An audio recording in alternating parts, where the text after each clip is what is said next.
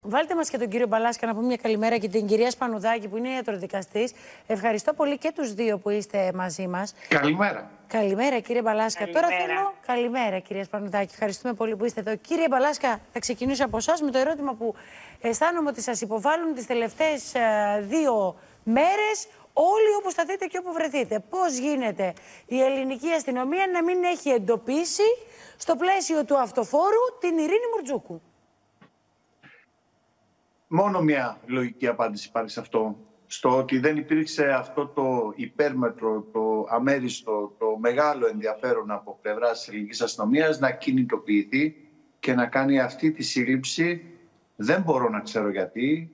Δεν το θεώρησε σοβαρό. Δεν Α, μπορούμε όλη η να Ελλάδα πούμε. Ασχολείται με αυτό το θέμα. Όλη η Ελλάδα εδώ και δύο μήνες μιλάει για πέντε νεκρά βρέφη και την παρουσία ενός ανθρώπου ε, και στου- και στους πέντε θανάτους. Εγώ δεν μιλάω να, τη συνε- να, την, να είχε συλληφθεί ως ύποπτη.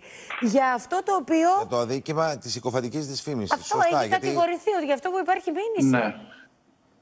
Δεν ξέρω κύριε Ντούκα γιατί ρωτάτε κι εσείς. Μήπως περιμένει να κάνει συλληψάρα, ξέρω εγώ, μέσα από κάμερες για τίποτα άλλο. Ξέρω Εγώ- εγώ, Λέει, κύριε ας πούμε, το Παλάσκα, κάνουμε δεν έτσι, μπορώ να να κάνουμε πω λίγο κάτι. Και φάση. επικοινωνιακά δηλαδή, και επικοινωνιακά να το πάρεις και να το δεις, είναι μια υπόθεση που ασχολούμαστε όλοι. Γνωρίζουμε ότι υπάρχει ένα αυτόφορο, υπάρχει ένα ένταλμα για συγκεκριμένο αδίκημα της συκοφαντική Ναι. δυσφήμισης και 48 ώρες καταλαβαίνει όλος ο κόσμος ότι η αστυνομία δεν μπορεί να βρει τα ίχνη ενός ανθρώπου Κυρία Σολάκη, που όχι, τις όχι, τελευταίους όχι, μήνες λάθος. έχει περισσότερες ώρες προβολής στην τηλεόρασης από Επιτρέπετε. μένα. Και μιλάει, Που είναι η δουλειά καθημερι- μου. και μιλάει συνέχεια στα τηλέφωνα που σημαίνει ότι οι δημοσιογράφοι μπορούν να τη βρούνε.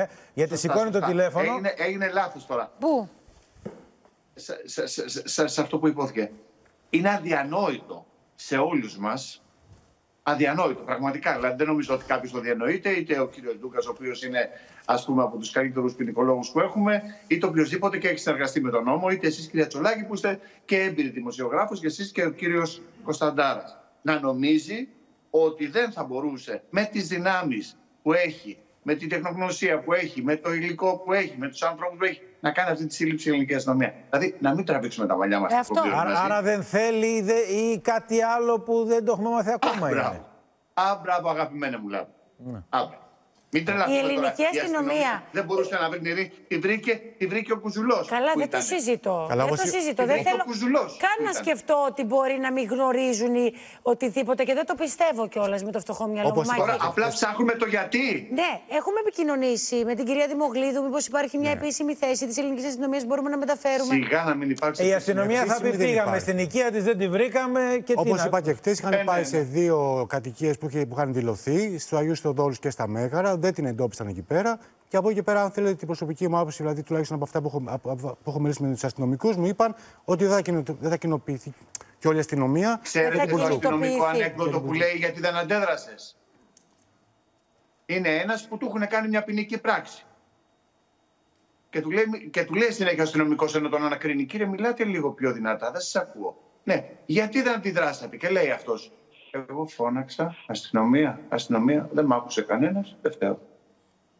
Δεν ξέρω αν καταλαβαίνετε. Ναι, το Ναι, νόημα καταλαβαίνουμε αυτού τι που λέτε. λέω. Απόλυτα, απόλυτα. Απολύτως Εντάξει. καταλαβαίνουμε. Εντάξει, βέβαια, Σταύρο, ξέρεις πολύ καλά ότι και το ατροποκτονείο, όταν μπαίνει στη- σε ένα τέτοιο παιχνίδι, ε, παίζει η άλλη Περιπλέκονται μπάλα τα που λέμε πράγματα εμείς. και μπορεί όντως να περιμένουν κάτι Ναι, άλλο. οι απλά άνθρωποι. δεν μπορώ, επειδή μπορούμε να άκουσα πούμε στο από μυαλό κάποιους τους εμείς. τίτλους, Το ότι δεν μπόρεσε η αστυνομία, επειδή το επανέλαβε έτσι δημοσιογραφικά βεβαίως η κυρία Τσολάκη, απολύτως δίκιο έχει που το επανέλαβε δημοσιογραφικά, ότι δεν μπόρεσε η αστυνομία να τη βρει. και Κύριε να την Παλάσκα, βρει. δεν είναι λίγο όμως, λίγο κάπως, μπορεί να ακουστεί τώρα αυτό περίεργο, θα πω, κάπως εμπαιγμό της δικαιοσύνης να μην κάνουμε τα πάντα για να βρούμε κάποιον, ή είναι όλο ε, κάτι που.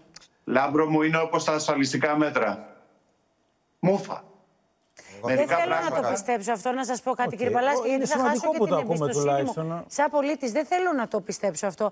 Θέλω να πιστεύω αυτό που με κάνει να αισθάνομαι πιο ασφαλής ζώντας σε αυτή τη χώρα. Θέλω να πιστεύω ότι υπάρχει κάποιο άλλο πλάνο, κάποιο άλλο σχέδιο, κάτι άλλο που περιμένουν οι αρχές για να δράσουν.